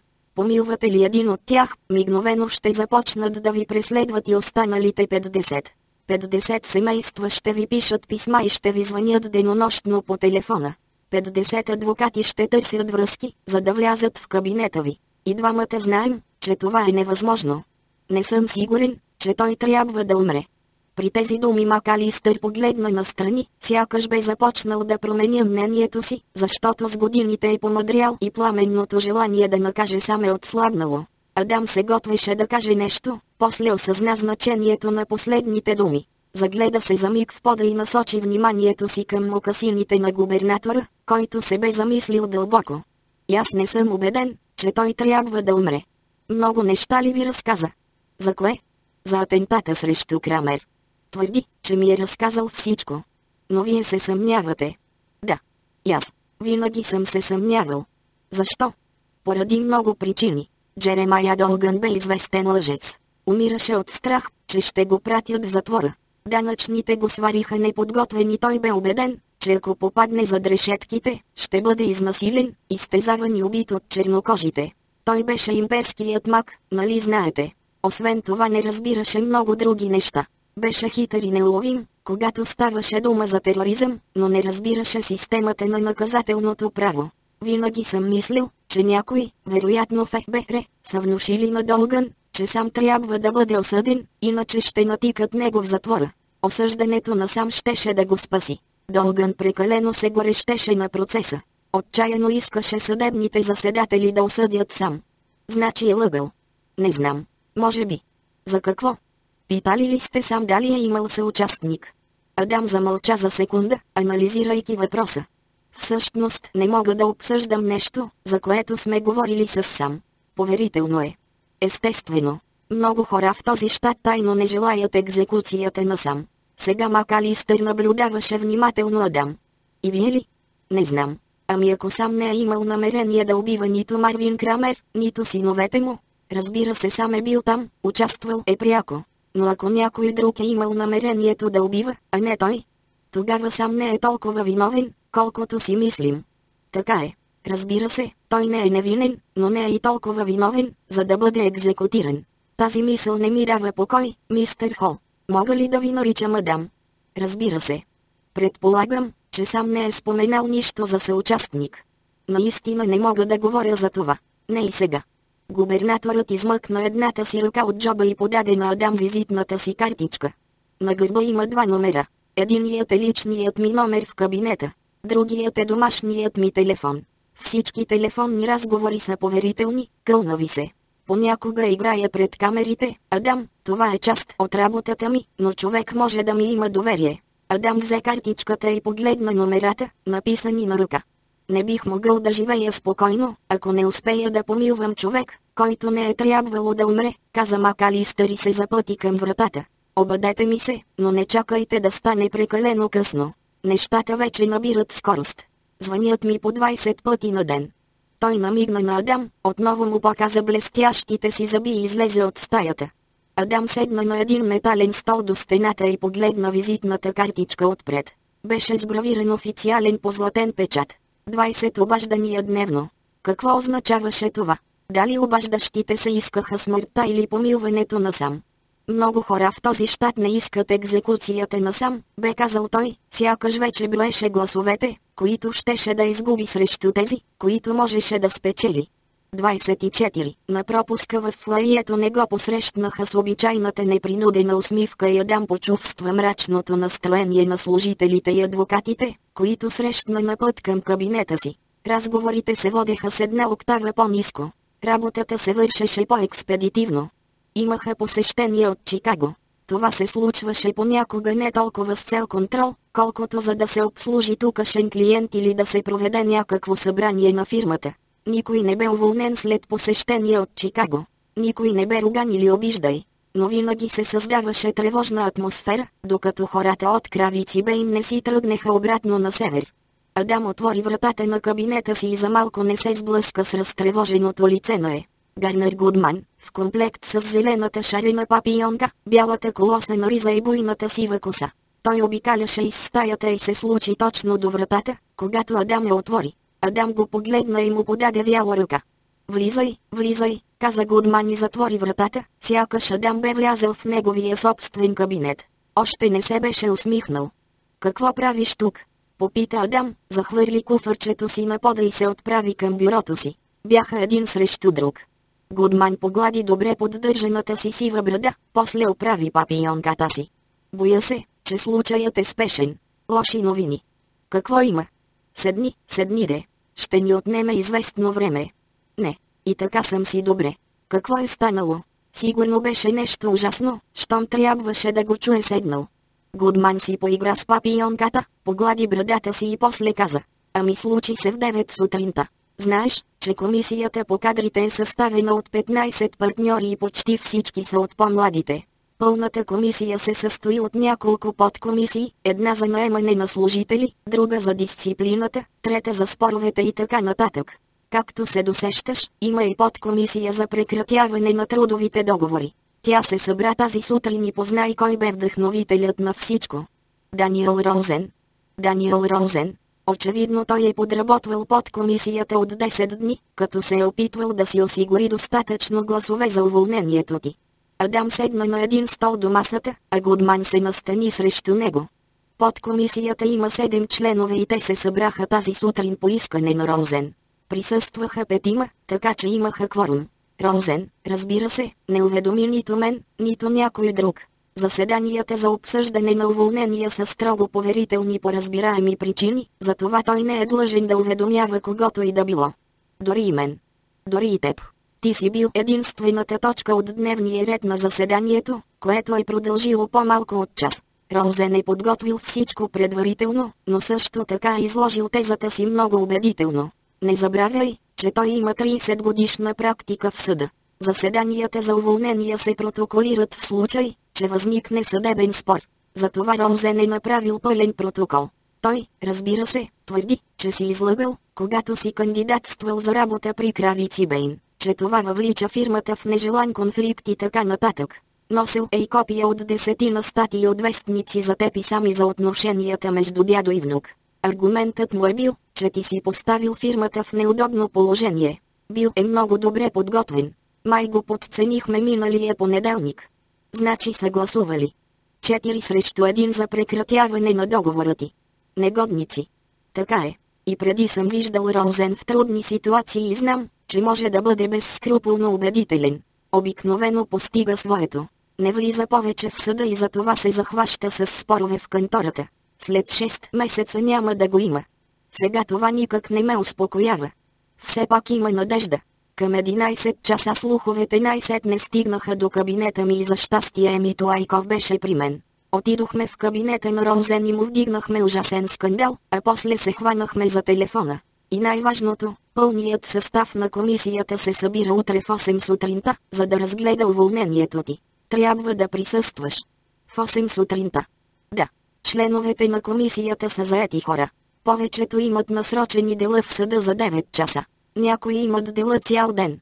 Ще имаме късмет, ако се получи кворум. Какъв е кворумът? Две трети, значи 10 души. А ако няма кворум, ще си имаме неприятности. Неприятности ли? Какво имаш предвид? Може да стане още по-лошо. Ако сутринта не се получи кворум, тогава имаш правото да поискаш преразглеждане след 30 дни. Сам ще бъде мъртъв след 30 дни. Може и да не бъде. Във всеки случай утре сутрин заседанието ще се състои. Еми аз получихме обещание от 9 от членовете, че ще бъдат там. Ами четиримата, които са гласували против мен тази сутрин? Гудман се ухили смутено и отклони погледа си. Познай, Розен се подсигури неговите хора да присъстват утре. Адам изведнъж удари по масата с двете си ръце. Напускам, подяволите. Не можеш да напуснеш. Току-що са те уволнили. Тогава няма да се боря. Мръсници. Чуй ме, Адам. Гадове. Гудман замълча за момент, за да даде възможност на Адам да се поуспокои. Той оправи папионката и опипа брадата си. Почука с пръсти по масата. После каза, виж какво, Адам. Утре сутрин имаме шансове, разбираш ли? Емит мисли, че сме в добра форма. Аз също. Фирмата стои зад теб. Вярваме в това, което правиш и, честно казано, се радваме на обществения отзвук. Във вестниците в Чикаго излязоха някои хубави статии. Фирмата очевидно ме подкрепя. Изслушай ме. Можем да свършим работа утре. Аз ще говоря през повечето време. В този момент Уайков работи по въпроса. Впрегнали сме и други хора. Розен не е глупав. Той иска да спечели и това е всичко. Не го е грижа за мен, за сам, за теб или за когото и да било друг. Той просто иска да спечели. Това състезание и аз се обзалагам, че сега той е на телефона и се опитва да си осигури гласове. Ами тогава хайде да обявим дуел на този проклетник, съгласен ли си? Да влезем на заседанието утре сутрин с желание за борба. Нека Розен да излезе лошият. Честно казано, Адам, този човек няма много приятели. Адам отиде до прозореца и надникна през шторите. Търговският комплекс долу бе пълен с пешеходци. Наближаваше 5 часът. Имаше почти 5000 долара в банката и ако беше пестелив и променеше малко начина си на живот, тези пари можеха да му стигнат за 6 месеца. Заплатата му беше 62 000 годишно и в близко бъдеще щеше да му бъде трудно без нея. Но той никога не се беше тревожил за пари. Много повече го безпокояха следващите три седмици. След 10 дни кариера като адвокат на осъден на смърт той разбра, че се нуждае от помощ. Какво ми очаква на финалната права? Попита той след напрегнато мълчание. Гудман се изправи бавно и се запъти към другия прозорец. Пълна лудница. Няма да имаш много време за сън през последните 4 дни. Ще тичаш във всички посоки. Съдилищата са непредвидими. Системата е непредвидима. Ще подаваш петиции и молби, съзнавайки напълно, че те няма да имат ефект. Пресата ще те тормози. И най-важното, ще трябва да прекарваш колкото се може повече време с клиента си. Луда работа, и то напълно безплатна. Значи ще имам нужда от помощ. О, да, не можеш да се справиш сам. Когато екзекутираха Мейнар Тол, бяхме определили по един адвокат от Джаксън за кабинета на губернатора, един за канцеларията на Върховния съд в Джаксън, един за Вашингтон и двама за отделението. За това трябва да дойдеш утре и да се бориш, Адам. Ще имаш нужда от фирмата и от нейните ресурси. Сам не можеш да се справиш. Тази работа изисква цял екип. Това е истински удар под кръста. Така е. Преди една година ти още си учил в университета, а сега те уволняват. Знам, че е обидно. Но, повярвай ми, Адам, всичко е късмет и няма да продължи дълго. След 10 години ти ще бъдеш съдружник в тази фирма и ще тероризираш младите сътрудници. Не бъди толкова сигурен. Да тръгваме за Чикаго. Имам два билета за самолета в 7.15. В 8.30 ще пристигнем и ще отидем в някой хубав ресторант. Трябва да си взема някои неща. Добре. Ще се срещнем на летището в 6.30. Въпросът бе решен по същество още преди началото на заседанието. Присъстваха 11 членове на комисията, което бе достатъчен кворум. Събраха се в една заключена библиотека на 16 етаж около дълга маса с кани кафе в средата и носеха със себе си дебели папки, диктофони и запълнени графици за деня. Един от тях бе довел секретарката си, която седеше в коридора и работеше бясно. Това бяха твърде заети хора, които след по-малко от час щяха да се впуснат в поредния рунд от безкрайни конференции, заседания, брифинги, срещи с клиенти, процеси, телефонни разговори и важни обеди. Десет мъже и една жена, всички към и малко над 40, всички съдружници в Кравици Бейн, нетърпеливи да се върнат към отрупаните си с работа писалища. Проблемът с Адам Хол бе истинска досада. Комисията по кадрите беше бреме за тях, но те бяха избрани по съответния ред и никой не се осмеляваше да откаже участие. Всичко за фирмата. На работа? Адам бе пристигнал в кантората в 7.30. Бе отсъствал 8 дни, най-дългото му отлъчване до този момент. Емито Айков бе прехвърлил работата му на друг млад сътрудник. В Кравици Бейн винаги имаше достатъчно новаци. До 8 часа той се кри в малка, неизползвана заседателна зала близо до библиотеката на 16 етаж. Беше нервен, но правеше всичко възможно да не го показва. Пиеше кафе и четеше сутрешните вестници. Парчман бе останал в друг свят, а той разглеждаше списъка с 15-те имена на членовете на комисията, от които не познаваше нито един.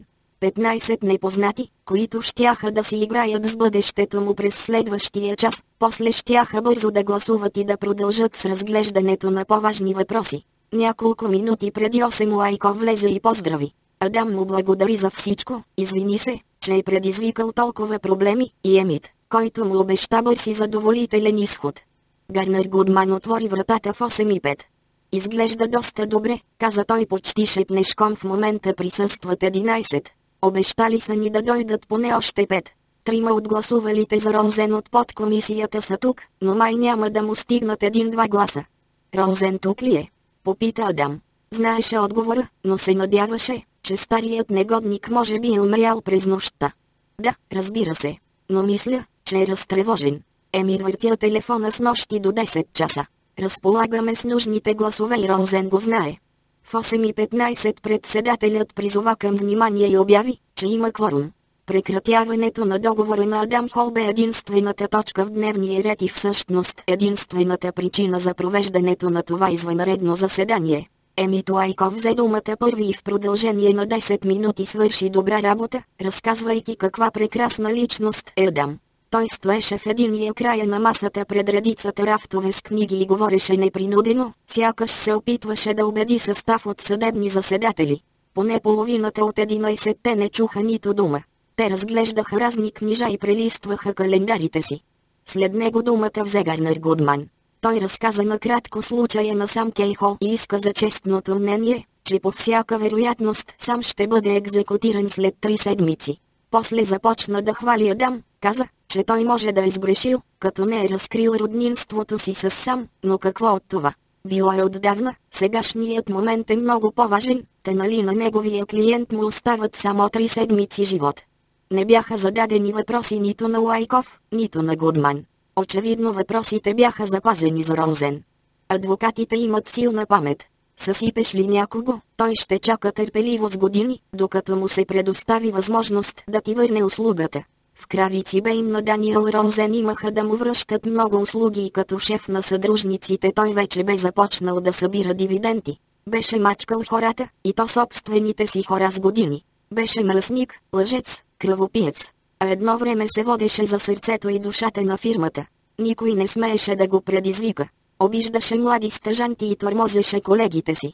Грубо се намесваше в работата на комисиите, пренебрегваше политиката на фирмата, отмъкваше клиенти от другите адвокати на Кравици Бейн. Сега, в залеза на кариерата си събираше дивиденти.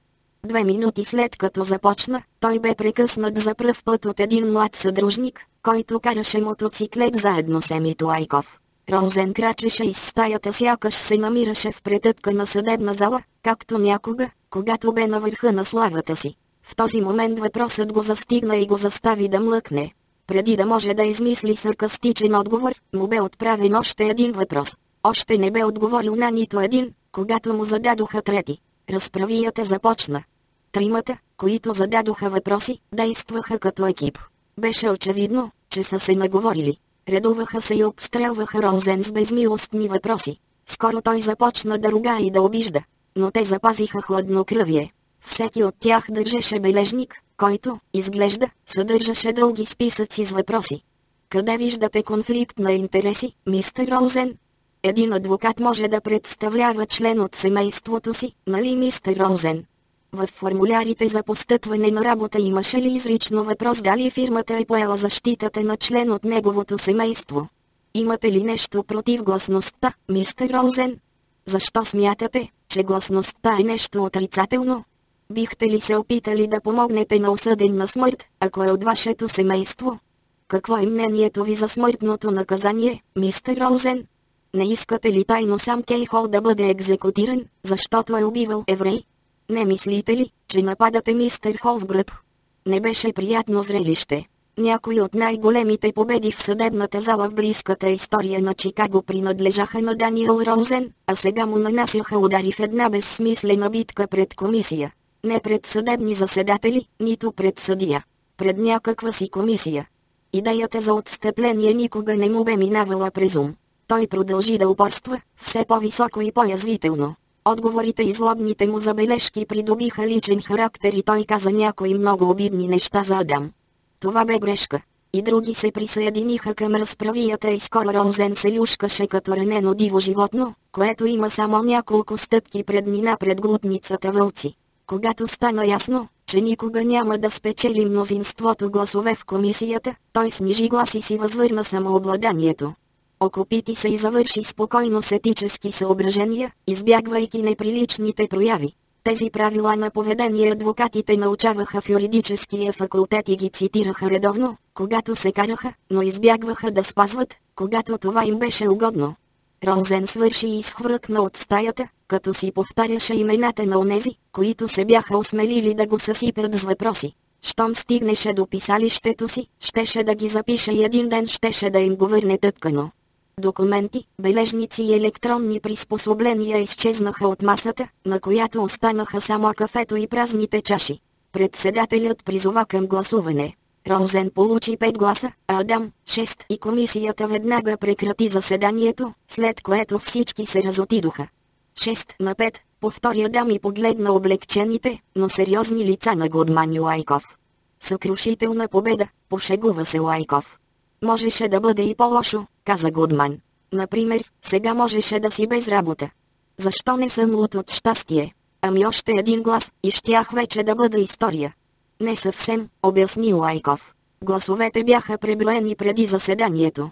Розен може би имаше два сигурни гласа, а другите го подкрепяха, защото знаеха, че ще спечелиш. Нямаш представа каква битка се разрази тук с нощи. Това довърши Розен. След три месеца няма да го има. Може би дори още по-скоро, добави Гудман. Той е бита карта. И е дотегнал на всички. Включително и на мен. Лайков погледна часовника си. Беше 8.45, а в 9 трябваше да е в съда. Виж какво, Адам, трябва да вървя, каза той и закопча сакото си. Кога се връщаш в Мемфис? Би трябвало днес. Можем ли да обядваме заедно? Бих искал да поговорим. Разбира се. Той отвори вратата и каза. Чудесно. Секретарката ми ще ти позвани. Трябва да бягам. Довиждане. И изчезна. Гудман изведнъж също погледна часовника си. Той бе много по-малко натоварен, отколкото другите адвокати в фирмата, но все пак имаше някакви ангажименти.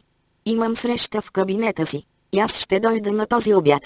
Един жалък глас, повтори Адам, като гледаше в стената. Хайде, Адам. Не беше толкова безнадеждно. Така го почувствах. Виж какво, трябва да прекараме няколко часа заедно, преди да заминеш. Искам да ми разкажеш за сам, чули? Ще започнем още на обед. Той отвори вратата и излезе. Адам седна до масата, клатайки глава. 25. Ако Бейкър Кули и другите адвокати в Мемфиската кантора знаеха нещо за внезапното уволнение на Адам и за отмененето му по-късно, те не го показаха. Държаха се с него по същия начин, т.е. стояха си в кабинетите и избягваха да се доближават до неговия кабинет. Не бяха груби, защото в края на краищата той бе от Чикаго.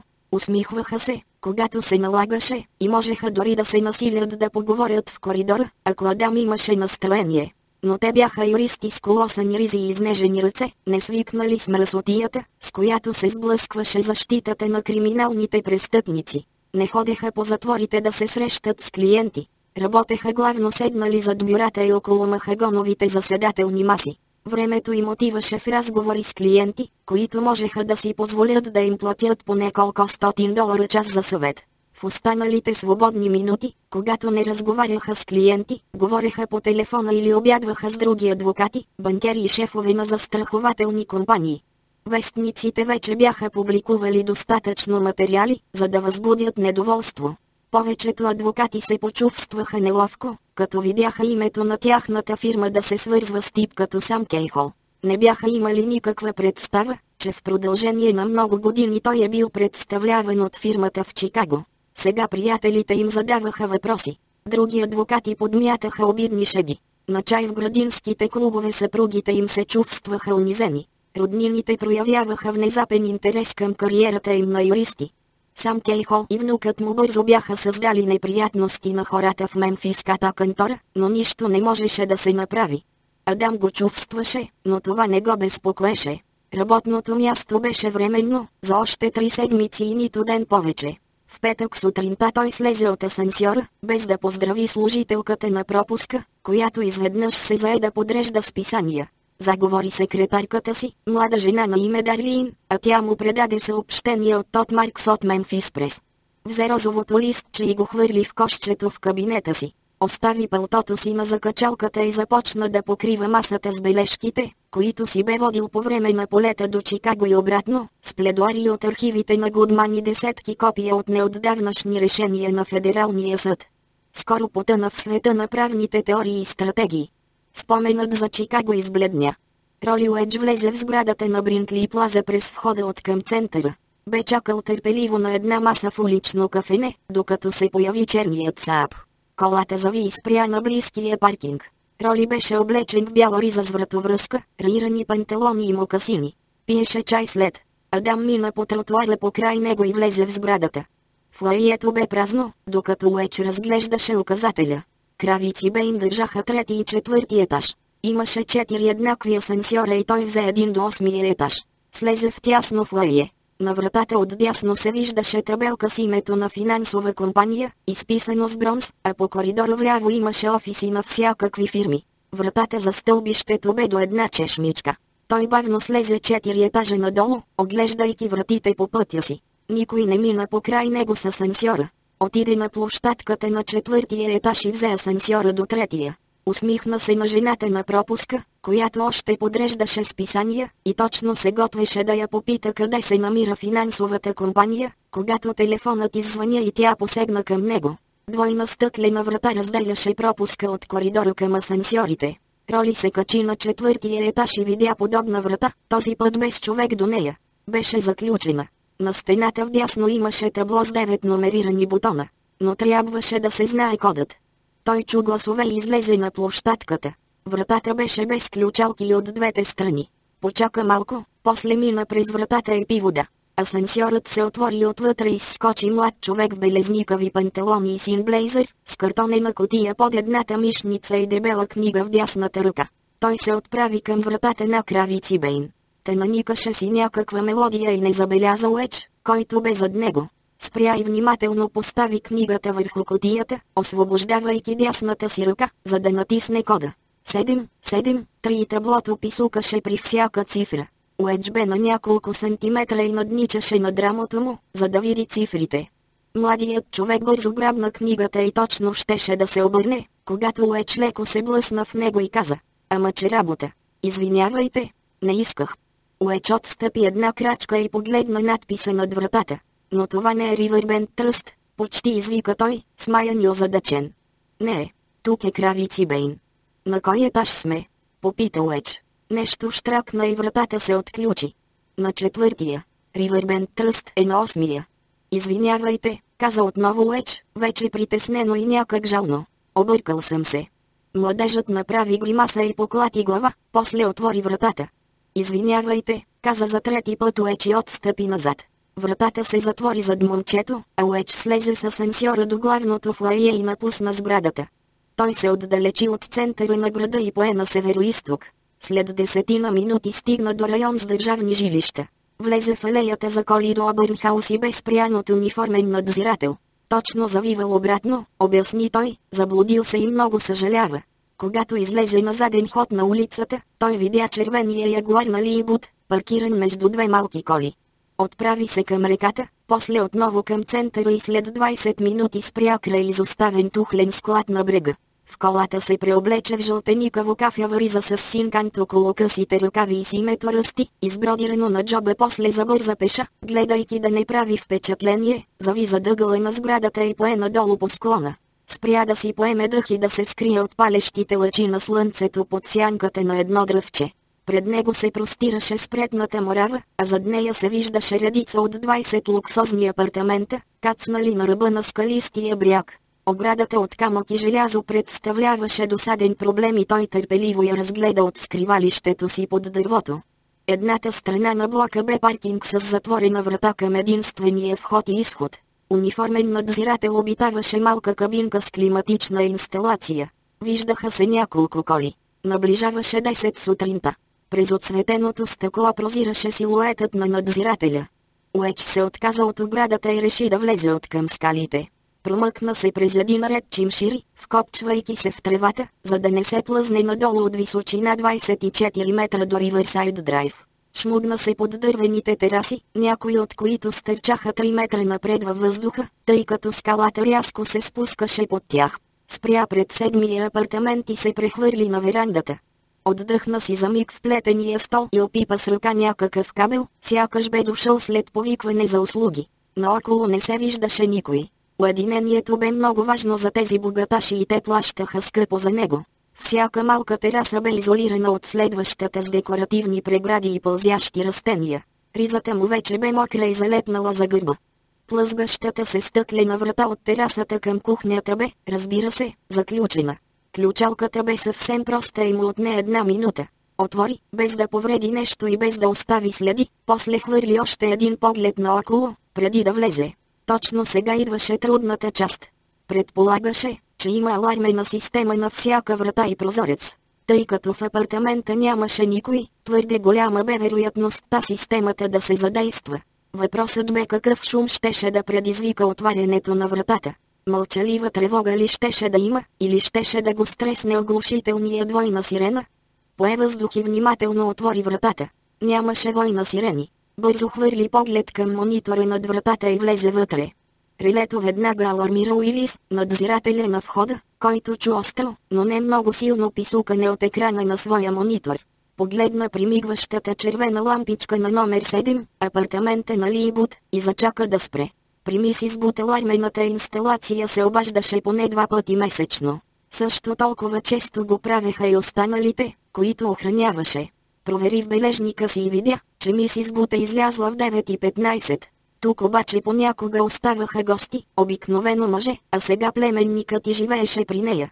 Затова Уилис изчака около 45 секунди, докато червената лампичка си ряда мига и се установи на степен включен. Това не бе нормално, но нямаше повод за паника. Тези хора живееха за добра да и плащаха на денонощна охрана. Затова не се отнасяха сериозно към алармените системи. Той бързо набра номера на мисис Бут, но никой не отговори. Натисна един бутон и включи автоматичното набиране на полицията на номер 911. Отвори чекмеджето с ключовете и взе ключа за номер 7, излезе от кабината и забърза през паркинга към апартамента на мисис Бут. Разкопча кобура си, за да може да грабне пистолета, ако се наложи. Роли Уедж влезе в кабината и видя отвореното чекмедже. Взе един комплект, надписан апартамент номер 7, с картонче за кода на алармената инсталация и с инструкции. Взе ключовете и картончетата за апартамент номер 8 и номер 13, за да заблуди стария Уилис и ченгетата.